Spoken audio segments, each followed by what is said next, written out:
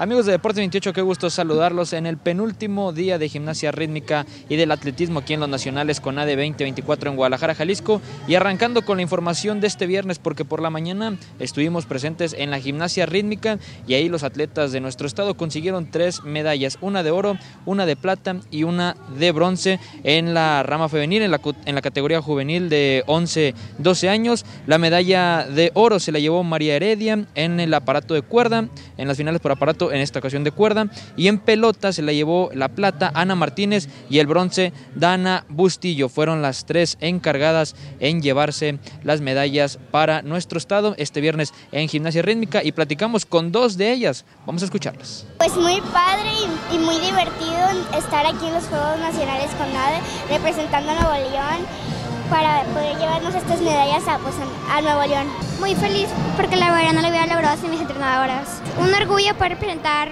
Nuevo León. Ahí están las palabras de las medallistas de Nuevo León y por el otro lado en el atletismo, un día un poco más ligero para el estado de Nuevo León eh, a comparación de otros días donde se acumularon más medallas. En esta ocasión alcanzamos una plata en la rama femenil y esto también pues bueno fue cortesía de Luz Guevara en los 800 metros planos sub-23 donde hubo dos, hubo dos presencias de Nuevo León, tanto Luz Guevara como Dulce Domínguez que fue la que terminó en cuarto lugar y bueno Luz llevando la medalla de plata. También platicamos con la medallista, vamos a escucharla. Pues la verdad me siento muy contenta, muy satisfecha hasta el momento este, de haber mejorado mi marca por tres segundos.